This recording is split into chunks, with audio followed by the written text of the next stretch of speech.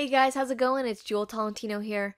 Alright, so in this video, I'm going to share with you what to do if all of a sudden your Camtasia, while you're doing a screencast, stops and says that there's no more storage space.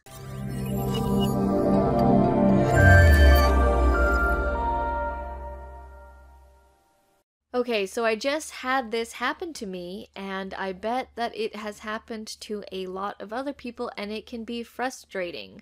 So here's what was happening I was recording a video, and it was longer than usual, so it was over 15 minutes, and I was recording a tutorial, and then all of a sudden my computer makes like a beep noise, and then a message pops up at the bottom, and it says, um, we're sorry, uh, Camtasia's about to shut down because there's not enough storage space and it like gave me two options and it was like either delete the current video or stop the recording. So I when when that happened I freaked out first of all because I thought I had lost my entire video. Now there's nothing more annoying when you are recording something and then all of a sudden you've lost it and you have to go and do it again.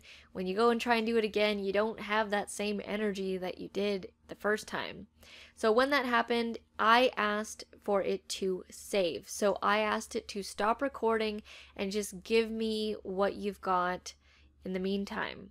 Now, after that happened, I realized that there was no space on my computer. So I had a lot of videos on there and it was taking up the storage space and when you were recording long tutorial videos, you know, it was taking it was nearing the end of my storage space. So what you need to do is head over to like your trash can or something and delete whatever you don't need and empty your recycling bin, trash bin on your desktop when you do that and you actually free up space, like it actually needs space on your laptop to record those screencasts. Even though it's not final format or the final version yet, it needs space to record the raw footage. So you need to delete either stuff in your recycling bin or go through your desktop and delete a bunch of stuff and then you can continue on. You don't have to have the whole thing deleted.